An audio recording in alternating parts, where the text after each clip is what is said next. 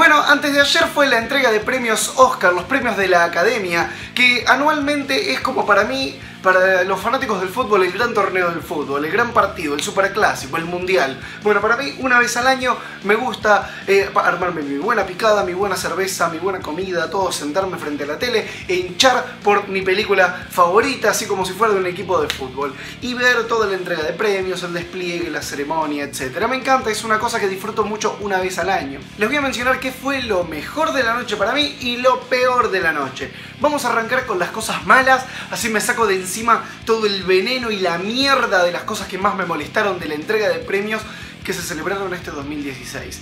Primero y principal, el llanto y las quejas de la comunidad afroamericana, o mejor dicho, los negros. ¿sí? Los negros no pararon de quejarse desde hace un montón de tiempo haciendo un boicot. ¿Por qué? Porque se quejan que no haya negros en la entrega de los eh, en la lista de nominados. Entonces, ¿cuál es el problema de que no haya negros en la entrega en, los en la lista de nominados?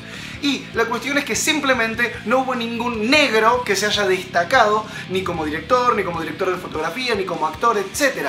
Entonces no es culpa de la academia que no haya ningún negro dentro de la lista de nominados. Simplemente no hubo ninguno que se destaque. Porque así funcionan estos premios. Es, tenés que ser el mejor para estar en la categoría y poder ser nominado. Un montón de veces DiCaprio fue nominado, no ganó y se lo ha ganado algún negro, como por ejemplo el año pasado que se entregaron un montón, que ganó mejor canción, un negro, mejor actor, un negro, etc. Aparte, ¿cómo mierda vamos a decir que los Oscars son racistas si ya va el tercer año consecutivo que mejor director lo gana un mexicano? ¿Dónde mierda está el racismo ahí entonces? Así que no me rompan las pelotas, no me rompan las pelotas con esa mierda de que tiene que haber una cosa equitativa, de que todo tiene que ser mitad para los blancos y mitad para los negros. No, una mierda tiene que ser así. ¿Por qué? Porque yo mañana voy a ir y me voy a quejar en la NBA diciendo, ay, no hay suficientes blancos, son puros negros, me siento discriminado, hay racismo, la NBA es racista. No, la concha de tu madre, no es racista la NBA, simplemente los negros son los mejores basquetbolistas.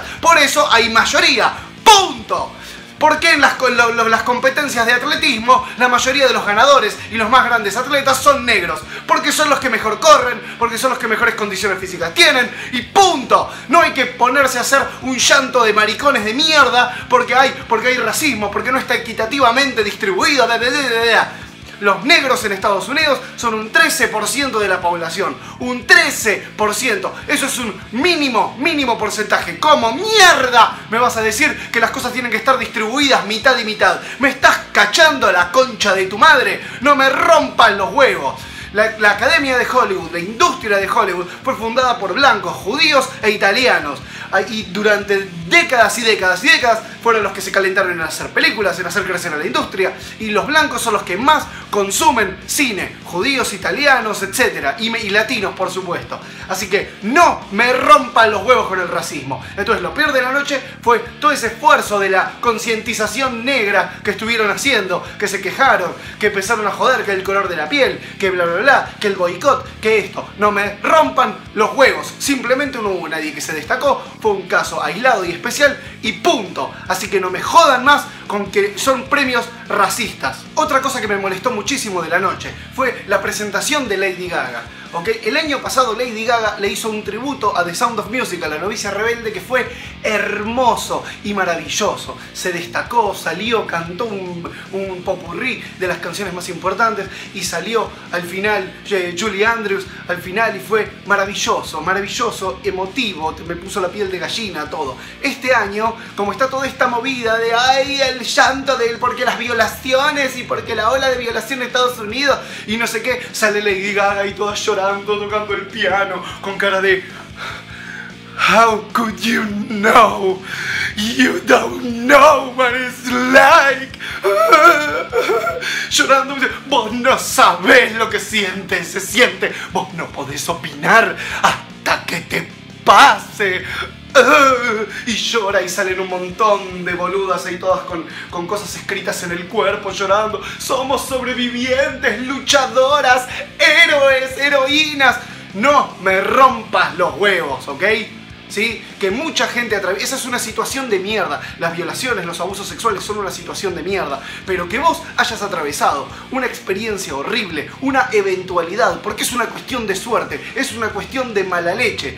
Que te pase eso, que, que atravieses eso, no te convierte ni en un héroe, no te convierte en mejor persona, no te convierte en nada más que una persona que atravesó una experiencia de mierda, como que te hayan robado, como que te hayan matado a un familiar, como que un familiar tuyo muera en la guerra, como que un familiar tuyo se muera de una enfermedad, etc. ¿Ok? Es una puta eventualidad, es una cuestión de mala suerte, es una, una mierda, ¿ok? Porque la violencia sexual es una cosa que existe en la naturaleza humana, es una cosa que existe desde el albor de los tiempos, como siempre van a haber ladrones, como siempre van a haber estafadores, como siempre va a haber gente garca, como siempre van a haber cornudos, siempre van a existir los violadores.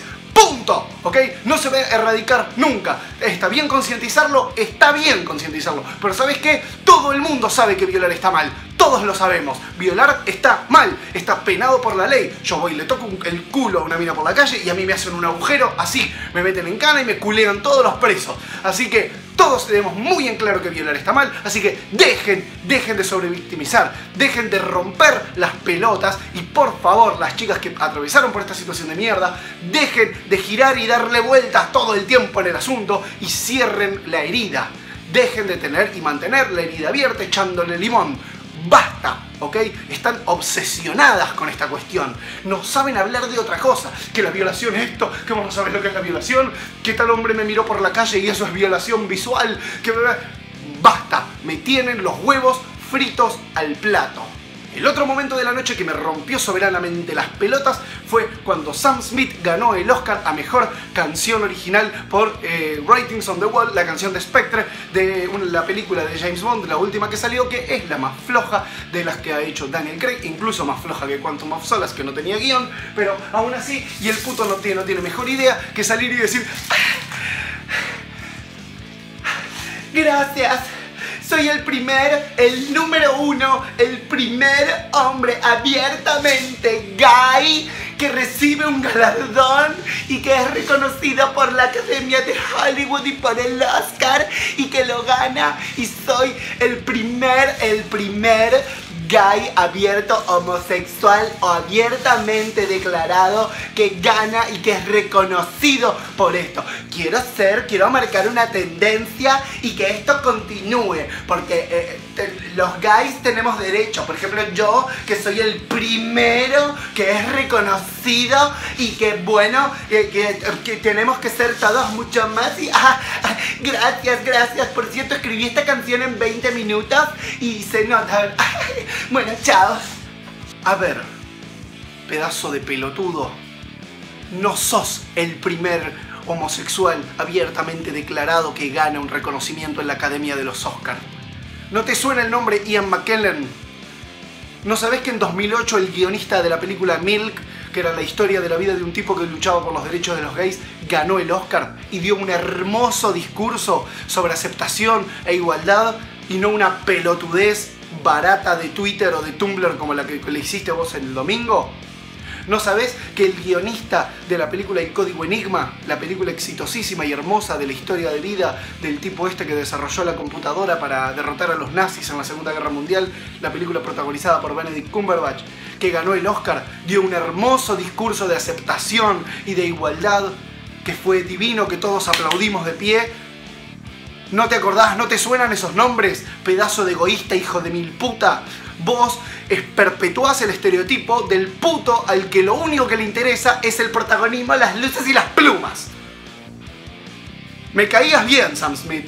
La cagaste. La cagaste. Demostraste ser una diva más.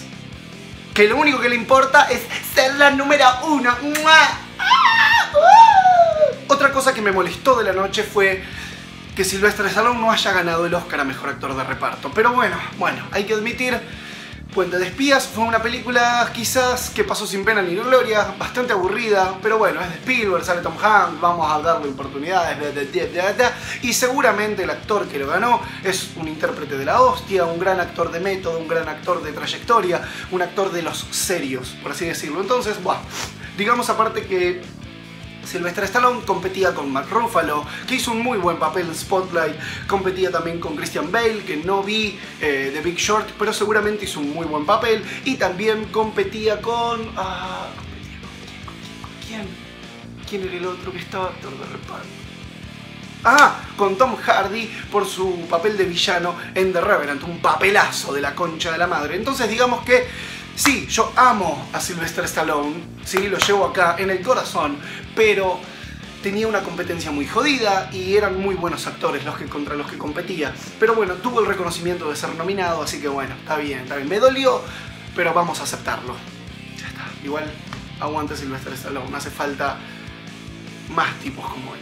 Y por último, lo que más me rompió la pija durante la noche fue que apenas habiendo ganado el Oscar a Mejor Guión, también se llevó el Oscar a Mejor Película Spotlight. Y Spotlight es una película que está bien, es correcta, toca un caso real que fue muy importante, que fue los que prendieron los periodistas que prendieron la mecha o que destaparon la primera olla de todo el aluvión de destapes de casos de curas pedófilos alrededor del mundo. Y está bien, es importantísimo ese caso, pero ¿sabes qué? Es una película para televisión. Es una TV movie. Es una película que salís del cine de verla y ble. Si no sos estudiante de periodismo o periodista, no te mueve un pelo. Si las actuaciones están bien, está filmada bien. Pasa que no requiere, no requiere cosas técnicas muy zarpadas tampoco, no tiene grandes requerimientos, es una película para ver en Telefe un domingo a las 5 de la tarde, no tiene esa cosa técnica de la cinematografía que vos decís, wow, qué película de la reconcha de la lora, no, no lo tiene, no lo tiene, es una película ble, eh, está bien, es un caso real bonito y de hecho ¿Cómo va a ganar mejor guion original una película que está basada en un hecho real? No tiene sentido. Tendría que ser mejor guion adaptado o algo así, o, hacer una nueva terna. Mejor guion de película basada en historia real, qué sé yo. Pero mejor guion original. Mejor guion original, anda a cagar. No, no tiene sentido, ningún sentido que haya ganado eso. Pero para justificar que le daban el premio a mejor película, al final del día que todos nos quedamos con cara de ¿What the fuck? ¿What the fuck? Pero bueno, ay, porque le habían dado también mejor guion original. Pero bueno, dale la estatuilla que se la metan en el orto. Ahora los periodistas eso van a estar insoportables. Van a estar ahí pedanteando y rompiendo los huevos. Pero bueno, ya está, que se lo lleven. Basta. Vamos a hablar de las cosas buenas de la noche. Vamos a lo serio, señores, por favor. Esta noche hubieron cosas buenas, sí, pocas, pero hubieron cosas muy buenas. Por ejemplo, que la mejor película del año 2015 se haya llevado 6, 1, 2, 3, 4, 5, 6 estatuillas. Y hablo nada menos que Mad Max Fury Road. ¿Y sabes por qué solamente ganó 6 estatuillas? Porque hubo la gran, la gran injusticia de que Charlize Theron no fue nominada a Mejor Actriz. Porque el papel de Furiosa, Imperator Furiosa, era digno de un Oscar y Charlize Theron se merecía ser nominada y se merecía esa estatuilla. Porque fue un papel pelazo de la reconcha de la madre. Nunca en la ciencia ficción, en, la, en, el, eh, digamos, en el género fantástico, no nunca, pero desde hace añares que no se ve, que no se ve una personaje, una heroína, una mina jodida, varas, fuerte, independiente, luchadora, que lucha por su redención, como vimos el papel de Charlize Theron en Mad Max. Es increíble, excelente. Y sí, posiblemente, como ya lo dije en mi review de Mad Max, que la pueden ver acá en mi canal de YouTube, es posiblemente la película más feminista, pero feminista bien, no feminazi pelotuda de Tumblr, feminista bien de muchísimos años del cine. Más del género fantástico. El mensaje, los personajes, la heroína principal. Es excelente, sí admitamos que Max tuvo un papel secundario en esta película. La película se llamaba Mad Max, pero en realidad la protagonista es Imperator Furiosa. Y se merecía el Oscar. Y ni siquiera la nominaron. Así que váyanse a cagar con, ese, con, el, tema de las nominaciones. Una mierda. Pero bueno, se ganó mejor diseño de producción, merecidísimo, porque tiene un diseño de producción de la concha de la madre. Mejor vestuario, por supuesto. Competía con Cenicienta, que estaba bien, pero... o sea, después ganó a mejor mezcla de sonido, mejor edición de sonido, mejor edición y mejor... ¿Maquillaje? Bueno, no me acuerdo. Pero nada, y un montón del staff de esta película eran mujeres. La montajista, la diseñadora de, vestuario, y vimos un montón de mujeres. O sea, por eso digo que es una película feminista, pero feminista bien. Ganaron un montón de mujeres merecidísimamente por su labor en esta película. Entonces, ¿a qué vamos? No, los Oscars no son ni machistas, ni feministas, ni racistas. Simplemente trabaja, rompete el culo trabajando y vas a ganar y ser reconocido con el premio que te mereces. Y el otro gran, excelente, hermoso momento de la noche fue cuando por fin le dieron el Oscar a Leonardo DiCaprio. Ahora, no todo es color de rosas. Leonardo DiCaprio se merece un Oscar hace mucho tiempo.